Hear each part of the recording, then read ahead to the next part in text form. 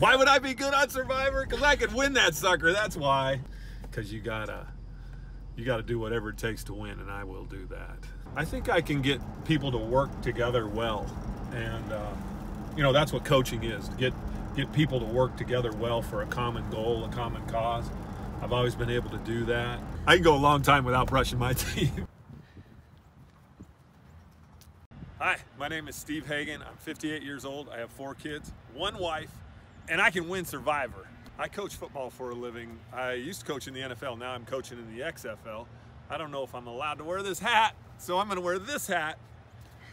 I love football. I've been a football coach, an assistant football coach, an offensive coordinator, special teams coordinator. My favorite thing about coaching is getting getting all the guys together and pointing them in a direction to go accomplish a big time goal, like you know, winning the Super Bowl, winning the championship, whatever whatever we're chasing, we're going to get.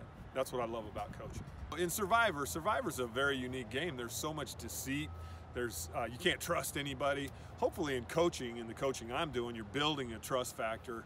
Um, you, you try to build trust in Survivor, but it doesn't always work out, as you can see. I mean, we're watching Survivor right now on TV, and guys are getting blindsided. Guys and girls are getting blindsided left and right. Missy just got blindsided last night, and uh, she was shocked, you know. So I think I was a little bit too. Play hard, do whatever it takes to win. Hey, if they trust you, they trust you. If they don't, they don't. I think everybody's got their own agenda. They're doing whatever it takes to win, whatever they think it takes to win. I'm going to do whatever I think it takes to win. So, you know, you got to lie. It's all in. It's all under the rules of the game, right? So it's like you're lying, but you're, you know, outside on the street. I don't know if I'd be lying to that same person because we wouldn't be, you know, on the street. We're not playing for a million bucks.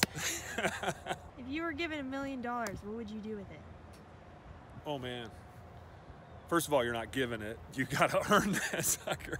And uh, I've been blessed. So I, I I'm not saying I'm I'm multi-millionaire or anything like that, but um, would give I would give a lot of it away. And then you know what I do? I take my family on a trip to where they they film Survivor, and we wouldn't have to play for a million dollars. We could just go there and enjoy it, and maybe not live in a hut and eat rice and look for immunity idols or anything like that. We just enjoy and chill.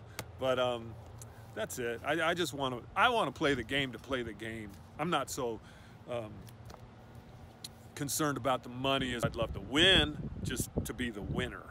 But I could give that money back to uh, somebody who needs it way more than us. Do you have any last words? But These are my first words. Look forward to seeing you on that island. Let's go.